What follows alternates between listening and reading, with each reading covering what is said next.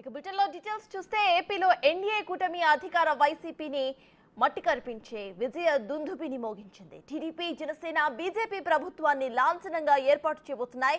ఇప్పటికే ఈ నెల తొమ్మిదిన అమరావతిలో చంద్రబాబు ప్రమాణ స్వీకారానికి ఏర్పాట్లు చేస్తున్నారు. ఉదయం పదకొండు గంటల యాభై మూడు నిమిషాలకు ముహూర్తం ఖరారు చేశారు. పన్నెండవ తేదీ పైన తర్జన భర్జనలు చేస్తున్నట్లుగా తెలుస్తోంది. ప్రమాణ స్వీకార ఏర్పాట్లకు అవసరమైన సామాగ్రిని తరలించారు. పన్నెండు లారీల్లో వచ్చిన భారీ టెంట్లు స్టేజ్ నిర్మాణ సామాగ్రిని రాయపూడిలో ఉంచారు. ప్రమాణ స్వీకారం ఎక్కడ చేస్తే బాగుంటుంది అనే దిశగా టీడీపీ నేతలు సమాలోచనలు చేస్తున్నారు. ముఖ్య నేతలు ఇవాళ స్థల పరిశీలన చేస్తారని తెలుస్తోంది. మరో రెండు రోజుల్లో సభా వేదిక ఎక్కడ అనేది తేలిపోబోతుంది. గుంటూరు విజయవాడ హైవేపై అనువైన ప్రాంతం కోసం నేతలు అన్వేషిస్తున్నారు.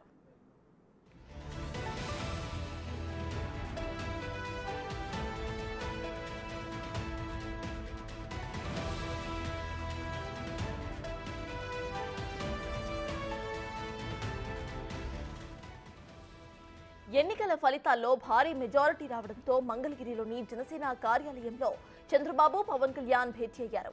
కౌంటింగ్ తీరు ప్రభుత్వ ఏర్పాటు సీఎం ప్రమాణ స్వీకారానికి సంబంధించిన ఏర్పాట్లపై చర్చించారు.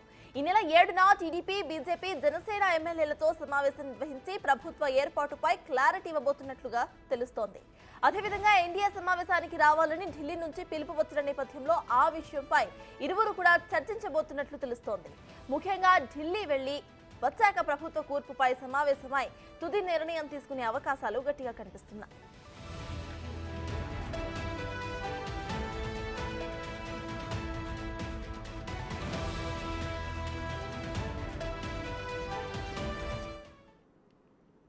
ఇక ఏపీలో కూటమి ఘన విజయం సాధించింది. ఇక ప్రమాణ స్వీకార కార్యక్రమాలకి కూడా కూటమి రెడీ అవుతోంది. ఈ విషయంపై పూర్తి డీటెయిల్స్ను my associate input editor Ganesh అందిస్తారు. గణేష్ ఇప్పటి ప్రజెంట్ మనం ఇటు చూస్తే కూటమి నేతలు అటు ప్రమాణ స్వీకార కార్యక్రమాలకి సన్నద్ధమవుతున్నారు. అట్ ద సేమ్ టైం వీళ్ళు భేటీ కూడా అవ్వబోతున్నట్టు తెలుస్తోంది. ఢిల్లీకి వెళ్ళే అవకాశాలు కూడా కనిపిస్తున్నాయి. సో ప్రజెంట్ అప్డేట్స్ ఏంటి? అంటే ఇప్పటి వరకు అంటే రాష్ట్ర చరిత్రలో ఘన విజయం సాధించిన కూటమి ఏదైతే ఉందో తెలుగుదేశం కావచ్చు తెలుగుదేశం బీజేపీ జనసేన కూటమి ఒక ఘన విజయాన్ని సాధించింది. అందరి అంచనాలను తలకిందులు చేస్తూ ఆ పార్టీ కావచ్చు లేకపోతే మిగతా ఎనాలిసిస్ల అంచనాలు కావచ్చు అంటే ఒకటి రెండు సంవత్సరాలు తప్ప మిగతా అంచనాలని తలకిందులు చేస్తూ ఒక ఘన విజయాన్ని సాధించింది. అంటే ఇప్పుడు మిగిలింది ప్రమాణ స్వీకారం మాత్రమే. ఈ ప్రమాణ స్వీకారం ఖచ్చితంగా చేయాల్సిన ఏ తేదీలో చేయాలి ఏం చేయాలనేది ఇప్పుడు ప్రధానంగా మనకు కనిపిస్తున్న ప్రశ్న. అయితే తొమ్మిదో తేదీనే నిన్న అంటే నిన్న గెలుపు అంటే పూర్తిగా ప్రభుత్వం ఏర్పడిందని తెలిసిన వెంటనే ఫస్ట్ తొమ్మిదో తేదీన ముహూర్తం అనేది ప్రధానంగా చర్చకు వచ్చింది ఎందుకంటే తొమ్మిదో తేదీన ఆదివారం కావడం మరోవైపు ఆ ఆ సమయం కూడా అంటే తొమ్మిదో తేదీన పదకొండు గంటల యాభై మూడు నిమిషాలకు ఈ ముహూర్తాన్ని అనేది నిర్ణయించారు. అంటే దీనికి కూడా ఒక ప్రత్యేకత ఉంది. అంటే తొమ్మిదవ తేదీన ఖచ్చితంగా మనం చూసుకుంటే పునర్వసు నక్షత్రం అనేది వచ్చిందనేది ఆ పండితులు వాళ్ళకి సూచించింది. అంటే శ్రీరాముడి ఆ, నక్షత్రంగా దీన్ని చెప్తున్నారు. మరోవైపు పదకొండు గంటల యాభై మూడు అంటే మిట్ట మధ్యాహ్నం. మిట్ట మధ్యాహ్నం అంటే శ్రీరాముడు పుట్టిన సమయం కాబట్టి ఈ సమయంలో దీన్ని ఒక మంచి ముహూర్తంగా అంటే ఒక మంచి రామరాజ్యంగా పరిపాలన చేయాల్సిన అవసరాన్ని ఎక్కడైనా మంచి పరిపాలనకి చిహ్నంగా మనం రాముడిని చూపిస్తారు కాబట్టి అలాంటి ముహూర్తంలో చేయాలనేది చూస్తున్నారు. ఎందుకంటే సాయంత్రం నుంచి దుర్ముహూర్తం వస్తుంది కాబట్టి పదకొండు గంటల యాభై మూడు నిమిషాలకి తొమ్మిదో తేదీన ముహూర్తం నిర్ణయిస్తే బాగుంటుంది. మరోవైపు ఎన్డీఏ పక్షాల్లో ఉన్న అటు పవన్ కళ్యాణ్ కావచ్చు బీజేపీ కావచ్చు ఈ ముహూర్తం అనేది సముచితంగా ఉంటుంది ఒక మంచి ముహూర్తంగా అవుతుంది ఒక చిరస్థాయిగా నిలిచిపోతుందనే ఒక అంశాలతో దీన్ని చర్చకు జరిపారు. అయితే మరోవైపు పన్నెండో తేదీని కూడా పండితులు మంచి ముహూర్తంగా చెప్పారు. బుధవారం నాడు చాలా మంచి ముహూర్తం ఉంది. ఆ సమయంలో ఆ రోజంతా మంచి ముహూర్తం ఉంది కాబట్టి ఎప్పుడు పెట్టుకున్నా పర్వాలేదు అనేది పండితులు సూచించింది. అంటే తొమ్మిదో తేదీన మిట్ట మధ్యాహ్నం పదకొండు గంటల యాభై మూడు నిమిషాలకు ఒక మంచి ముహూర్తం కాబట్టి ఆ రోజున మధ్యాహ్నం చేస్తే బాగుంటుంది అనేది ఒక చర్చ అయితే. పన్నెండో తేదీన మరో ముహూర్తంగా చెప్పారు. అయితే పన్నెండో తేదీన చాలా దూరం అవుతుంది కాబట్టి ఆ ముహూర్తం తొమ్మిదో తేదీకి దగ్గరలోనే ఉండాల్సిన అవసరం ఉందనేది ఒక చర్చ అయితే వచ్చింది. ఏదేమైనా తొమ్మిదో తేదీకి ఎక్కువ ఓటింగ్ పడే అవకాశం ఉంది. దీనిపై అంటే చంద్రబాబు తెలుగుదేశం పార్టీలో అంతర్గతంగా కోర్ కమిటీతో చర్చ చర్చించి నిర్ణయం తీసుకున్నా మరోవైపు ఆ భాగస్వామిగా ఉన్న పవన్ కళ్యాణ్తో చర్చించాల్సిన అవసరం ఉంది బీజేపీతో చర్చించాల్సిన ఉంది. నిన్న నిన్న సాయంత్రం ఆయన పవన్ కళ్యాణ్తో చర్చ జరిపినప్పుడు సమయంలో కూడా ఇదే విషయాన్ని ఆయన ప్రస్తావించినట్టు మనకు తెలుస్తోంది.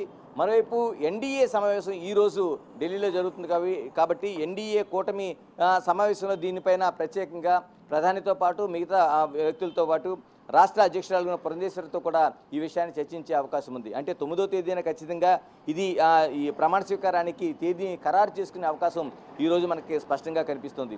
ఈరోజు పదకొండు గంటల త- తర్వాత పదకొండు గంటలకి ఇక్కడ నుంచి పవన్ కళ్యాణ్ మరోవైపు చంద్రబాబు ఇద్దరు కూడా ఢిల్లీ ప్రయాణం అవుతారు అక్కడ ఎన్డీఏ భాగస్వామ్య పక్షాలతో ఎన్డీఏ కూటమిలో సమావేశం తర్వాత ఖచ్చితంగా ఆ సమావేశం అనంతరం ఈ ముహూర్తం అంటే ఏదైతే ప్రమాణ స్వీకారం చేయాల్సిన సమయం ఉందో ఈ సమయం కోసం ఖచ్చితంగా వాళ్ళు చర్చ చేస్తారు. ఒక తుది నిర్ణయం తీసుకొని తుది తేదీని తుది సమయాన్ని కూడా తీసుకొని ఇక్కడికి వచ్చే అవకాశం ఉంది. అంటే సాయంత్రానికల్లా ఇక్కడ విజయవాడ మళ్ళీ చేరుకుంటారు కాబట్టి ఈ వచ్చినప్పటికీ ఈ రోజుకి ఖచ్చితంగా ఎప్పుడు ప్రమాణ స్వీకారం చేయబోతున్నారనే క్లారిటీ నూటికి నూరు శాతం రాబోతుంది. మరోవైపు స్థల ప్రదేశం అంటే ఎక్కడ ఈ సభలు నిర్వహించాలనేది కూడా ఒక చర్చ జరుగుతుంది. దీనికి ఖచ్చితంగా విజయవాడ గుంటూరు మధ్య చేయాలనేది ఒక చర్చ అయితే ప్రధానంగా వచ్చింది. అది మంగళగిరి కేంద్రంగా ఉంటే బాగుంటుంది అనేది నిన్న పవన్ కళ్యాణ్తో జరిగిన చర్చలో కూడా ఈ అంశం వచ్చిందనేది ప్రధానంగా మనకు తెలుస్తుంది. అంటే గతంలో గతంలోనో చిలకలూరిపేటలో ప్రధానమైన సభ పెట్టారు. అంటే ఒక ఆది సభ ఈ మూడు పక్షాలు కూడా బీజేపీ బీజేపీ తెలుగుదేశం మరోవైపు జనసేన ఈ మూడు పక్షాలు చిలకలూరిపేటగా సెంటిమెంట్గా ఈ సభను నిర్వహించారు. ప్రధాని మోదీ అక్కడ హాజరయ్యారు. చంద్రబాబు పవన్ కళ్యాణ్ ముగ్గురితో పాటు ఈ ఈ సభ నిర్వహించారు. అంటే ఆ సెంటిమెంట్తో ప్రకారం అక్కడ చేయాలా? లేకపోతే కేంద్రంగా రాజధానికి కేంద్రం దగ్గరగా ఉన్న మంగళగిరిలో దీన్ని చేయాలనేది కూడా ఒక ప్రధాన అంశంగా కనిపిస్తుంది. అంటే ఏదేమైనా మంగళగిరికి అంటే విజయవాడ గుంటూరు రహదారికి పక్క నుండి ఆ జాతీయ రహదారి పక్క నుండి ఒక మైదానంలో దీన్ని నిర్వహించాలనేది ఒక ప్రధాన ఆలోచన అయితే మరోవైపు మంగళగిరికి దగ్గరగా అని ఒక ఆలోచన అయితే చేస్తున్నారు. అయితే మరికొందరు ఆలోచన ఏదైతే ఒక రాజధానిగా అమరావతి అనుకున్నారో అమరావతి కేంద్రంగా ఈ సభ నిర్వహిస్తే బాగుంటుందనే ఆలోచన అయితే ఇంకొక ఆలోచనగా కనిపిస్తుంది. ఏదేమైనా గుంటూరు విజయవాడ పరిసరాల్లోనే ఈ ప్రమాణ స్వీకార సభ భారీ ఎత్తున జనసందోహం మధ్య ఈ ప్రమాణ స్వీకారం చేసే అవకాశం ఉందనేది తెలుస్తుంది. ఏదైనా ఈ ఈ రోజు ఎన్డీఏ పక్షాల సమావేశానికి ఏదైతే వెళ్తున్నారో ఆ ఎన్డీఏ పక్షాల సమావేశంలో ఢిల్లీలో జరిగి బీజేపీతో పాటు చర్చించి అక్కడ పురంధేశ్వరి కూడా రాష్ట్ర అధ్యక్షురాలు బీజేపీ అధ్యక్షురాలు ఉంటుంది కాబట్టి ముగ్గురు కూడా ఒక సమావేశం అయిన తర్వాత దీనిపైన తుది నేరం ఈ రోజుకే వచ్చే క్లారిటీ వచ్చే అవకాశం అయితే స్పష్టంగా మనకు కనిపిస్తోంది. Right thank you Ganesh